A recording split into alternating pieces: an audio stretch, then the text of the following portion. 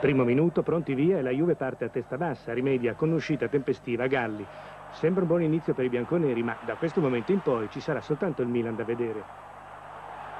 Al settimo, scatto rabbioso di Van Basten con tiro d'angolo difficile, ma si è già capito che la Juve fatica in difesa.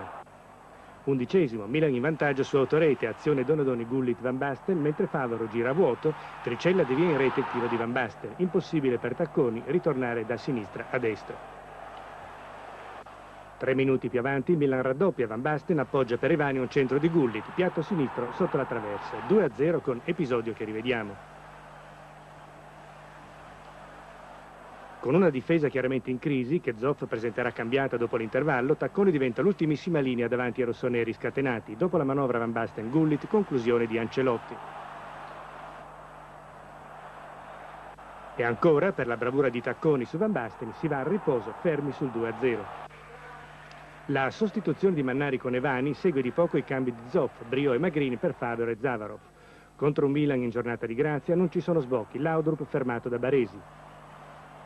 E comincia lo show di Mannari, gran lavoro in mezzo a tre o quattro avversari e palla per Van Basten. Tacconi non si scompone più di tanto per la deviazione in angolo. 24esimo, terzo gol rossonero, Donadoni insegue il pallone fino sul fondo, dal suo cross la deviazione vincente di Mannari.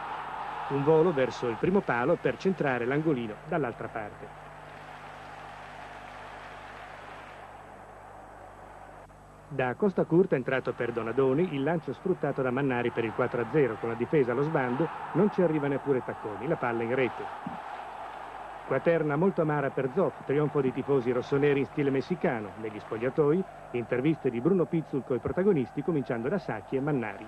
È un buon Milan, Milan eh, piacevole, Milan che ha giocato bene, speriamo che questa partita sia di buon auspicio per quella di mercoledì.